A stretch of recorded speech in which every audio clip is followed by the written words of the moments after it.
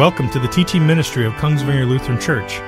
Kongsvinger is a beacon for the gospel of Jesus Christ and is located on the plains of northwestern Minnesota. We proclaim Christ and Him crucified for our sins and salvation by grace through faith alone. And now, here's a message from Pastor Chris Rosebrough. The Holy Gospel according to St. Luke, the 14th chapter.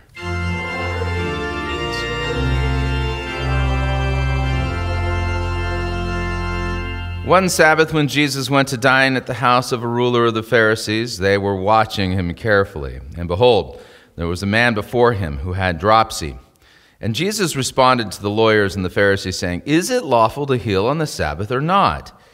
But they remained silent. And then he took him and healed him and sent him away. And he said to them, Which of you, having a son or an ox that has fallen into a well on a Sabbath day, will not immediately pull him out? And they could not reply to these things. Now he told a parable to those who were invited when he noticed how they chose the places of honor, saying to them, When you are invited by someone to a wedding feast, do not sit down in a place of honor, lest someone more distinguished than you be invited by him. And he who invited you both will come and say to you, Give your place to this person, and then you will begin with shame to take the lowest place. But when you are invited, go and sit in the lowest place, so that when your host comes, he may say to you, Friend, move up higher. Then you will be honored in the presence of all who sit at the table with you. For everyone who exalts himself will be humbled, and he who humbles himself will be exalted. This is the gospel of the Lord. In the name of Jesus. I'm all dressed up with nowhere to go, walking with a dead man over my shoulder. it's a dead man's party. Who could ask for more? Everybody come and leave your body at the door, leave your body and soul at the door. Is this not the kind of party that we're, is being described here in this text? This is a dead man's party. And you'll remember last week we talked about the Bible's definition of dead and the Bible's definitions of life, and we noted that our way of looking at things are very insufficient when it comes to these definitions. So, as we work our way through this gospel text, we're going to have to come to grips with a couple of things. That these men are not only dead in trespasses and sins, as Jesus describes them in the Gospel of John, they are of their father, the devil. These are little satanic children. And that's the right way to put it. In fact, the, the religion of self righteousness is the perfect religion for satanic children. And I mean it because you are the one who saves yourself. I was shocked back in the day when I learned from one of my mentors and that's Gretchen Passantino, who happened to be a foremost authority on Satanism. She was the one who uncovered the fact and revealed the fact that Mike Warnke and he was lying about being a Satanist. It was just a shtick that he created, a, a backstory about himself that was false. And she was instrumental in bringing to light that he was lying through his teeth. And the reason why is because, like I said, she's an expert on Satanism. But I was shocked when I learned from her that Satanists do not worship Satan. I know that's going to sound weird. So when you hear all the conspiracy theories about people out there worshiping Satan, uh, read the Satanic Bible if you don't believe me. Anton LaVey, the late Anton LaVey, he made it very clear in the Satanic Bible that Satanists worship themselves, just like Satan does. I would remind you that we recently, in the book of Ezekiel, took a look at a good cross reference to Isaiah 14 that describes the fall of Satan. God describes him in Ezekiel 28 as You were the signet of perfection, you were full of wisdom, you were perfect in beauty. You were in Eden, the garden of God, and every precious stone was your covering sardius, topaz, and diamond, beryl, onyx, and jasper, sapphire, emerald, and carbuncle, and crafted in gold were your settings and your engravings. And on the day that you were created, they were prepared. You were an anointed guardian, guardian cherub, and I placed you. You were on the holy mountain of God. In the midst of the stones of fire, you walked. Man, does that sound like a cool place to see? Right? I'm going to grab my camera and go to the mountain of God and look for the stones of fire. What a cool thing that has to be, right? You were blameless in all of your ways from the day you were created until unrighteousness was found in you. In the abundance of your trade, you were filled with violence in your midst, and you sinned. So I cast you as a profane thing from the mountain of God, and I destroyed you, O guardian cherub, from the midst of the stones of fire. For your heart was proud because of your beauty. You corrupted your wisdom for the sake of your splendor. So I cast you to the ground, and I exposed you before kings to feast their eyes on you. Hmm. You'll note that if you were to ask a theologian, what's the original sin? I would push back and say, which original sin are you talking about? The original sin or the original sin that Adam and Eve first committed? The original sin, and I mean the original sin, was actually committed by Satan, and it's self love. It's pride of the conceited, arrogant, vainglorious type. In fact, a good way to put it is, is that Satan was the original narcissist. And you're going to note that the world that we live in is full of them, full of narcissists.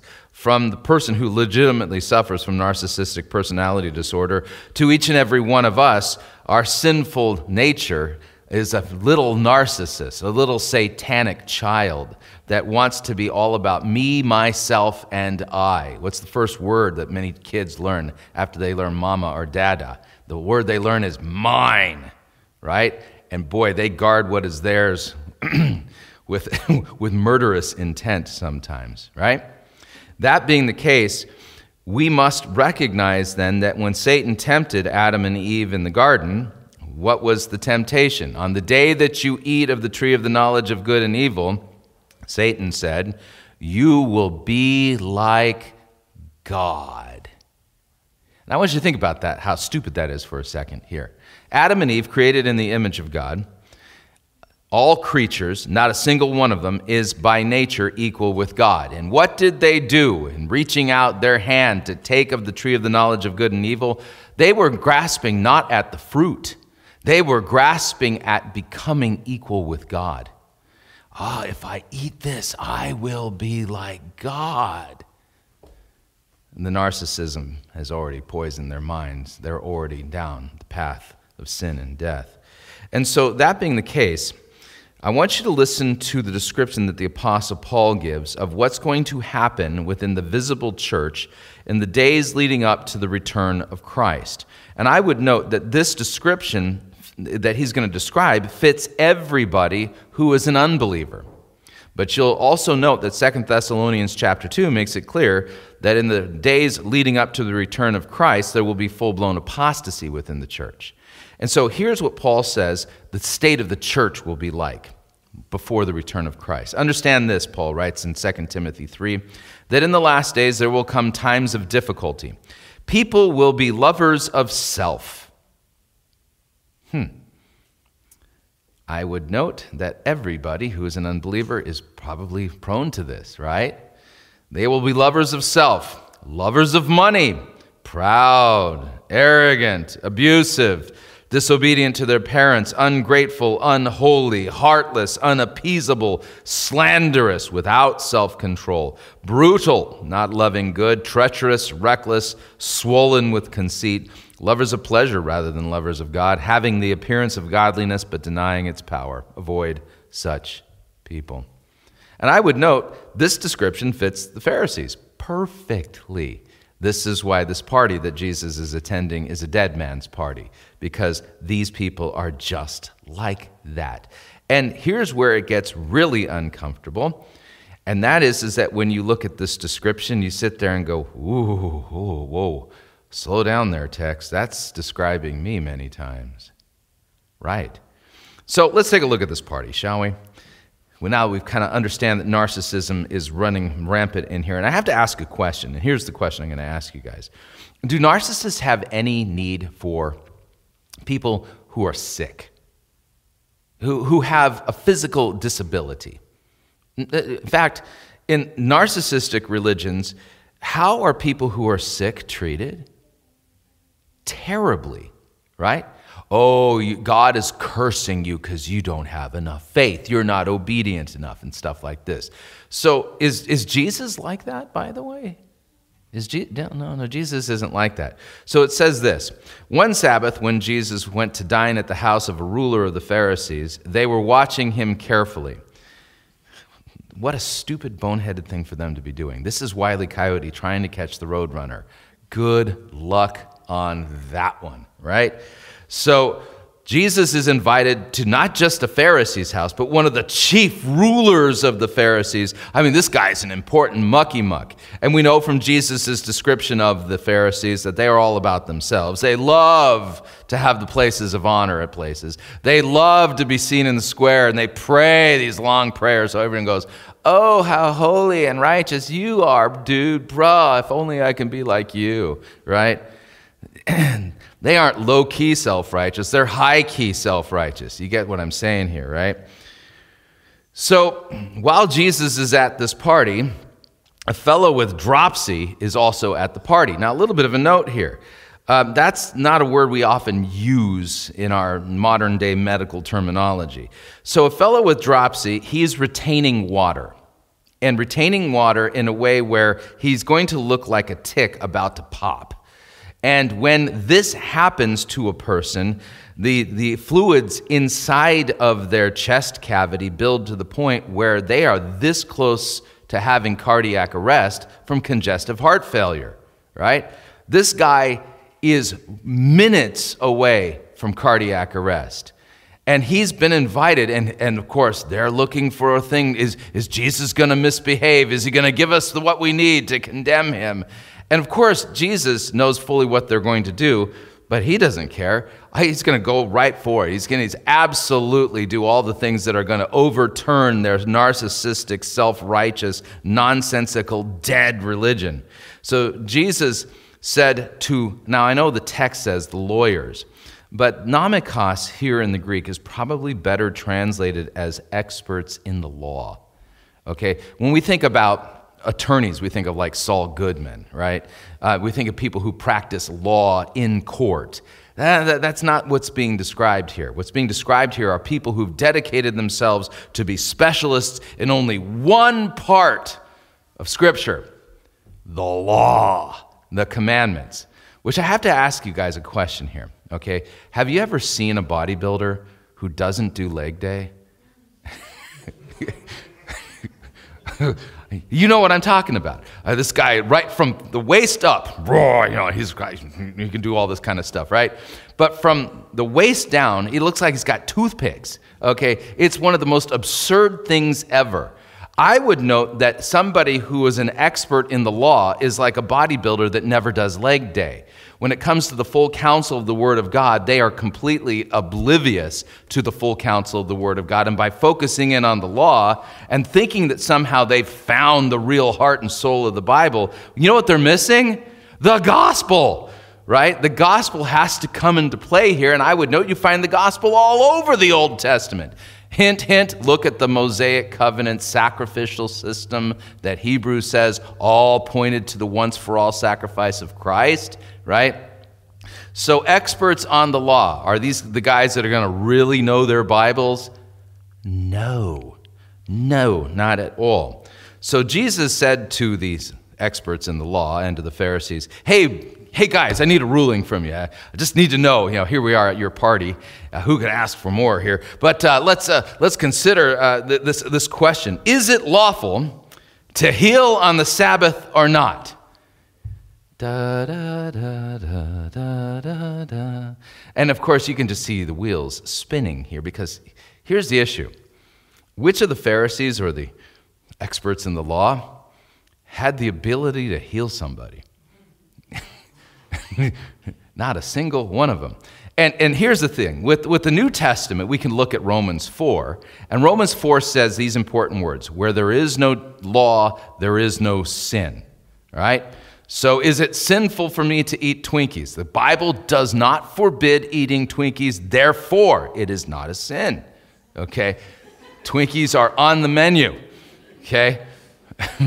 So, that being the case, where there is no law, there is no sin. Can you guys think of a single passage that says, and if God gives you a special ability to heal people that you cannot heal on the Sabbath, thus says the Lord in Deuteronomy chapter 97?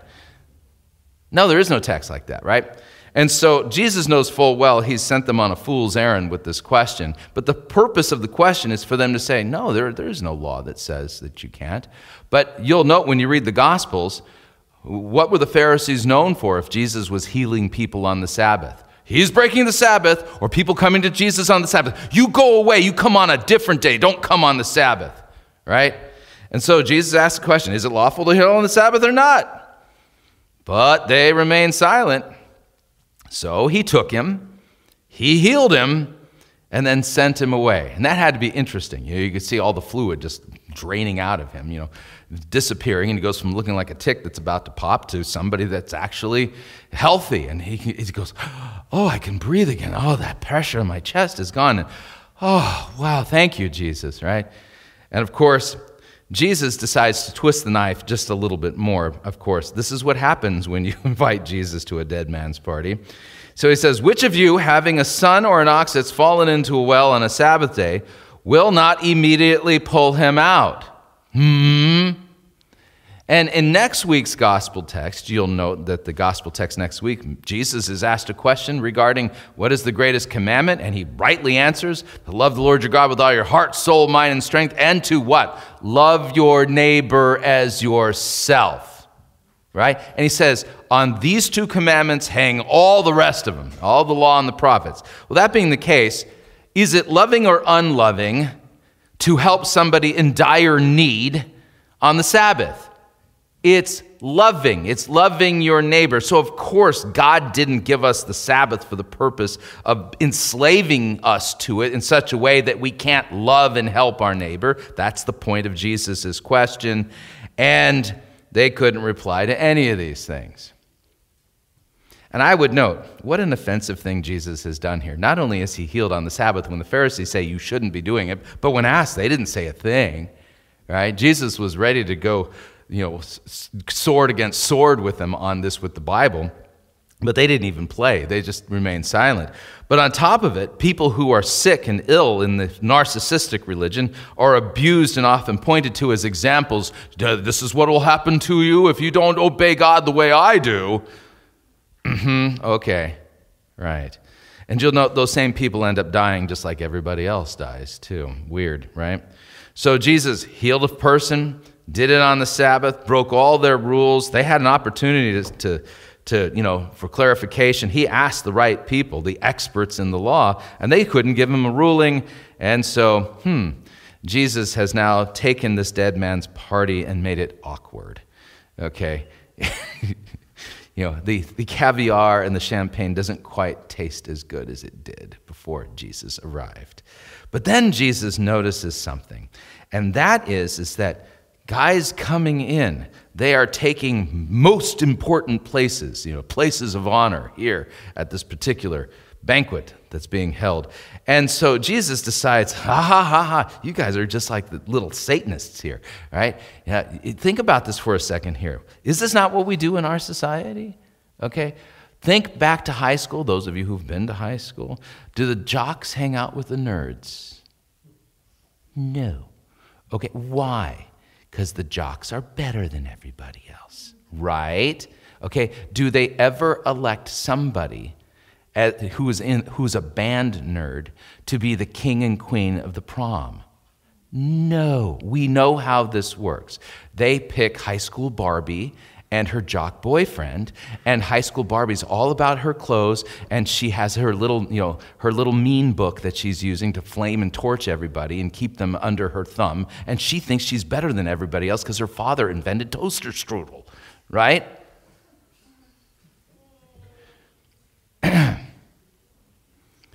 all of that being said we play this game too we're trained in this world to play this game too. Don't think any of us are guilty of not playing this. So Jesus noticed that those who were invited, he noticed that they chose the places of honor for themselves. And then, almost verbatim, quoting our Old Testament text from Proverbs, Jesus says, Hey, listen, when, when you're invited by someone to a wedding feast, do not sit down in a place of honor lest someone more distinguished than you be invited by him. Of course, they should sit there and go, oh, yeah, he's quoting the Proverbs. They're not interested in that kind of wisdom, right? All right? And he who invited you both will come and say to you, Give your place to this person. Then you will begin with shame to take the lowest place. But when you are invited, go and sit in the lowest place, so that when your host comes, he may say to you, Friend, move up higher. And then you will be honored in the presence of all who sit at the table with you. Let me ask you a question. Those of you who've been around narcissists, would a narcissist ever, and I mean ever, sit in the lowest place after they've entered you know, a party? No way, Jose. It's not going to happen. Have you ever gone to a restaurant with a narcissist? If the waitress is four seconds late with the water, she doesn't get a tip and, and, she, and, and she gets told off to her manager, right? These people are insufferable. They believe that they are legitimately better than everybody else. And there's no way that they would sit in the lowest place because that's beneath them. Let me ask you a question. Are all of us not created by God? If we're created by God, is there any of us who is actually better than anyone else? Anyone? No, th- there isn't. But we play this game in society, right? The rich and the famous, oh, everybody wants to be like them. When I was in Southern California, I took, some, I took a day to do some photography. One of my stops was actually Hollywood. Didn't take a lot of photos there. I couldn't stand the smell. It was awful. The homeless use Hollywood Boulevard and the Walk of Fame it basically as a toilet. And so it wasn't a really fun place to be. And it was super hot. And the smell with the hot sidewalk, and it just was awful. But as I was walking down Hollywood Boulevard, I noticed that there was a queue. Uh, people lined up to get onto a bus. And the bus said, Tour of the Homes of the Rich and Famous. And everybody looked so excited. They were going to go and see the mansion of George Clooney and Brad Pitt and all, all these really important people, right? And when people go on a tour like that, what on earth are they telling you about their own value system? You know, one of the reasons why people do that is because they like to imagine what it would be like if they were them, if they were the rich and famous. They want to vicariously live through their fame and their fortune because they think that they deserve that for themselves. Right? But my question is this why are there no bus tours, and I mean not a single one, going to the houses of the people who clean the sidewalks in the streets of Hollywood Boulevard? Why does nobody go on a tour bus to see the apartments of the people who work in the retail shops on Hollywood Boulevard? You're starting to see it, right? That's kind of the point. So Jesus ends this little parable with some very discomforting words. Everyone, and by the way, look it up in the Greek, everyone here means everyone. Everyone who exalts himself will be humbled, and he who humbles himself will be exalted. Do you feel the noose around your neck yet? Are you not guilty of, of exalting yourself? Do we not do this from the time we're children? Mommy, look at me. Look what I've done. Right?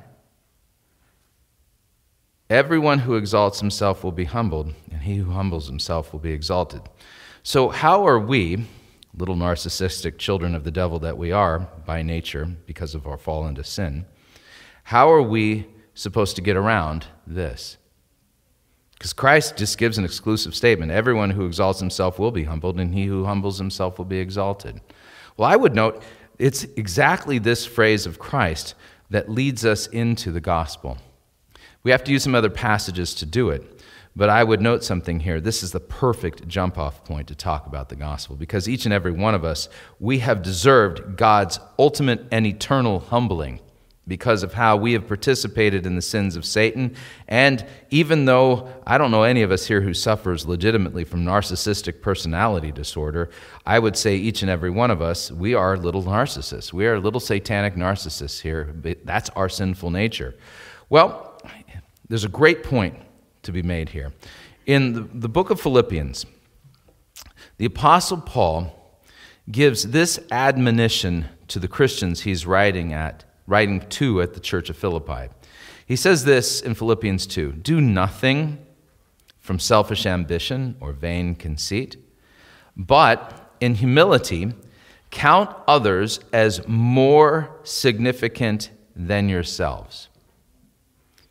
Now, that's a great admonition, a great thing. But you're going to note here, that's a little bit tough for all of us to do. You, you really expect me to think that everybody here at Kongsvinger Lutheran Church is better than me? Yeah.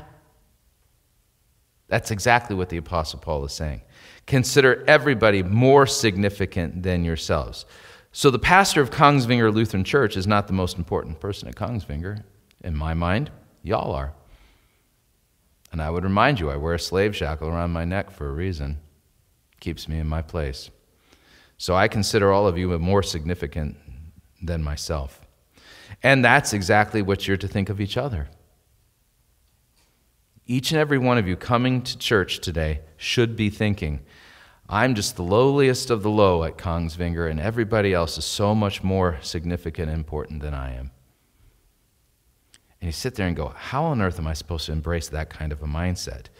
Well, Paul continues Let each of you not only look to his own interests, but also to the interests of other, others, having this mind among yourselves, which is already yours in Christ Jesus. And now we're going to talk about Christ and the gospel. Jesus, who though he was by nature God, listen to the words, he did not count equality with God a thing to be grasped Hmm, that harkens back to the Garden of Eden. Adam and Eve thought equality with God was something to be grasped. Under the tutelage of Satan, they thought that that was something to be grasped for and sought after. But Jesus, who is the second person of the Trinity, the Son of God, he is by nature equal with God. Did we not confess that Jesus Christ is God of God, light of light, very God of very God, begotten, not made, being of one substance with the Father, by whom all things were made? Right? If Jesus is all of that, and he is, then don't you think that Jesus is super duper important? Would anybody fault Jesus for not humbling himself? There's no reason for him to do so, is there? But Jesus isn't like Satan. Satan, a creature, wanted to be like God and depose God. And the sick puppy that he is, when he was tempting Jesus in the wilderness, that third temptation is, I'll give you all the kingdoms of the earth if you'll just bow down and worship me. What a sick, narcissistic, prideful, arrogant puppy that Satan is, right? Gross beyond all reason. But Jesus, who is God and is by nature equal with God, he didn't consider equality with God a thing to be grasped. So what did he do? In his love and compassion for sinful humanity, Jesus emptied himself. He took the form of a servant, and the Greek word here is slave. Being born in the likeness of men and being found in human form, he humbled himself by becoming obedient to the point of death even death on a cross. And see, that's the difference. Satan wants you to be all that you can be. Satan wants you to focus on yourself the way he focuses on himself. But of course, he's going to require you to worship him at the end anyway. Because he wants to be the king of the, of the universe of narcissists, the chief of the narcissists. But Jesus Christ, who is actually God, didn't even consider his equality with God something to hang on to. And he legitimately condescended. He humbled himself. He emptied himself. He took on the form of a servant. Jesus was born in a barn. His first cradle is a manger. Jesus did, was not raised like Moses was in the palace of Pharaoh or in the palace of, of the emperor of Rome nor any king or queen or anything like it. He grew up in the backwater region in a small little village called Nazareth. His dad was a hard working, hand calloused construction worker and carpenter.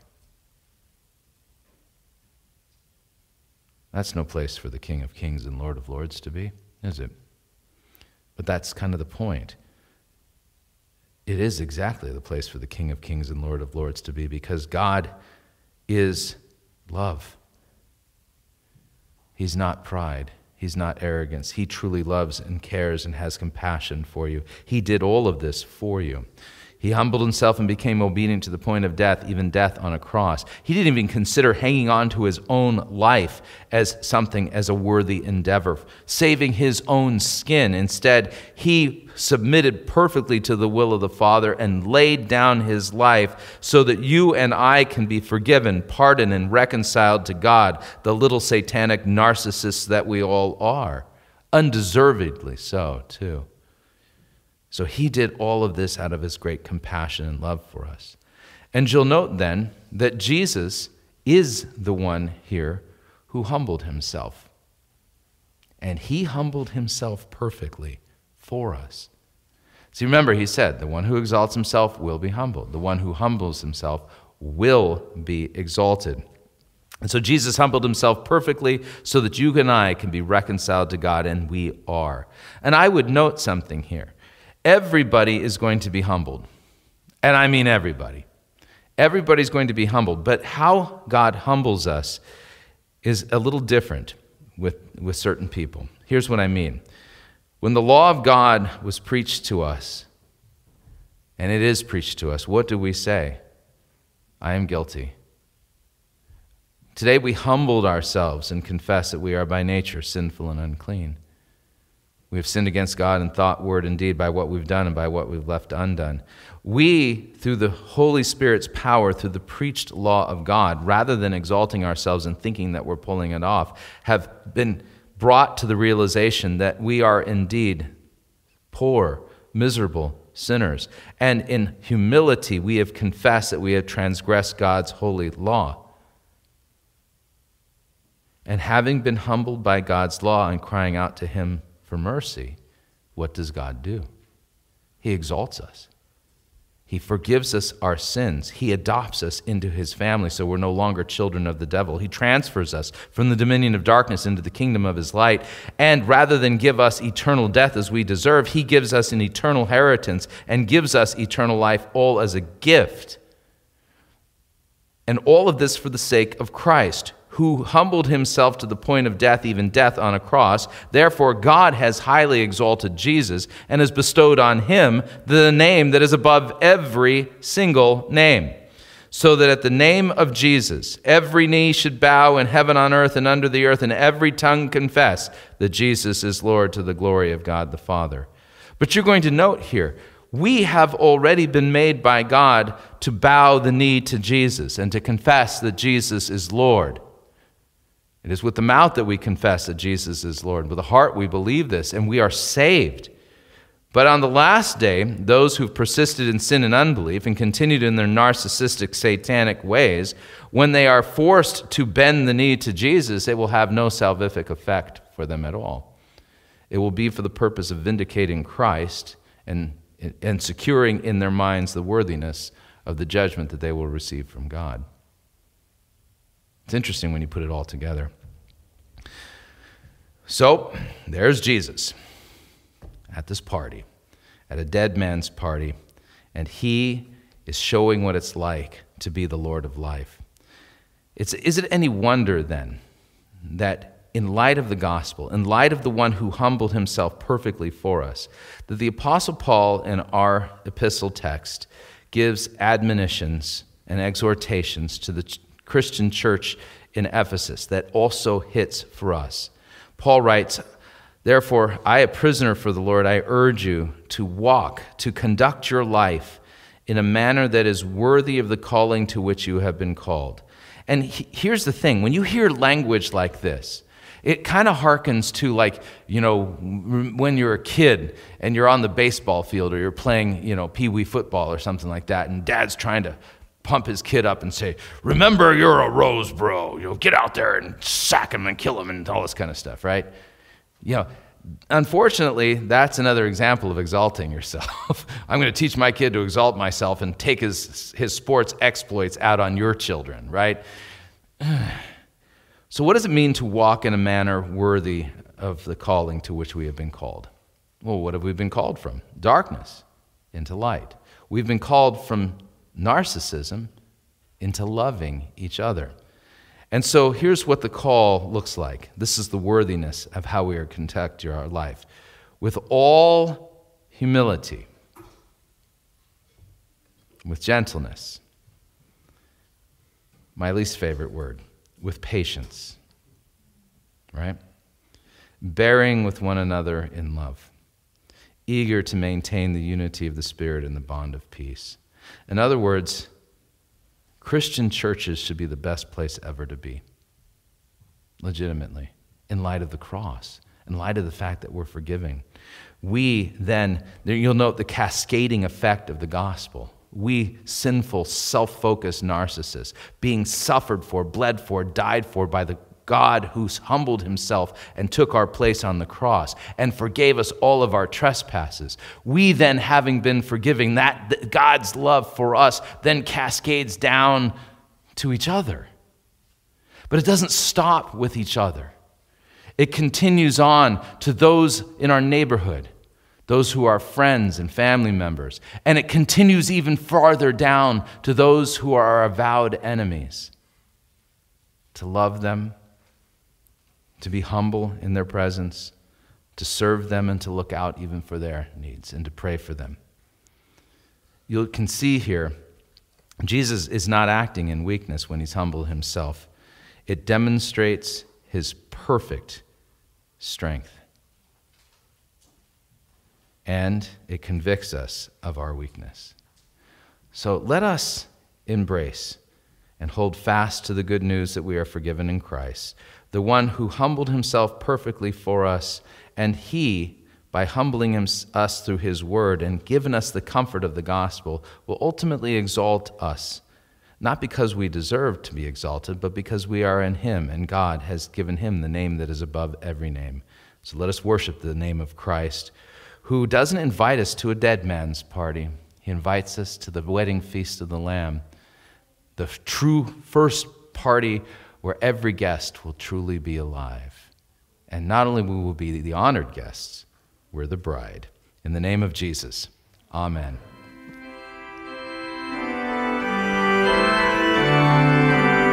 If you would like to support the teaching ministry of Kongsvinger Lutheran Church, you can do so by sending a tax free donation to Kongsvinger Lutheran Church, 15950 470th Avenue Northwest, Oslo, Minnesota 56744. And again, that address is Kongsvinger Lutheran Church, 15950 470th Avenue Northwest, Oslo, Minnesota, 56744. We thank you for your support. All of our teaching messages may be freely distributed as long as you do not edit or change the content of the message. And again, thank you for listening.